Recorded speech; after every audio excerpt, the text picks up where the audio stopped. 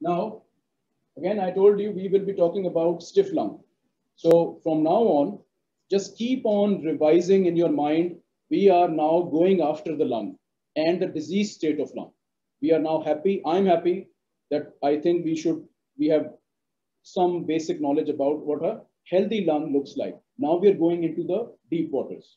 So stiff lung, let's compare that. If you compare a healthy with a stiff lung, and I've just described compliance, the stiff lung would have more compliance or less.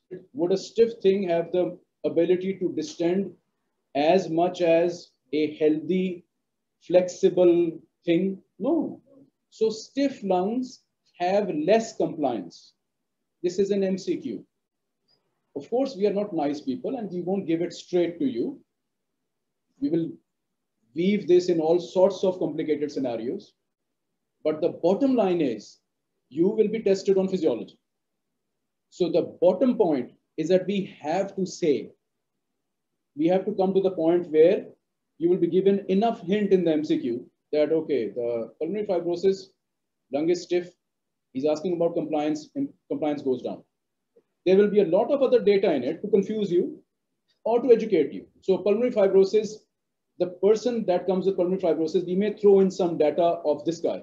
He works, etc., etc. He smokes this, that, his weight is this, his blood pressure, all of these things, some of these are distractors.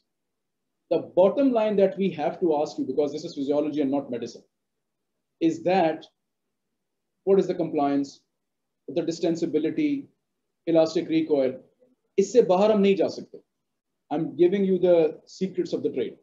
Okay. So look for the scenario. Don't be intimidated by the scenario, but look at the last statement that has the question in it. You will get to the point.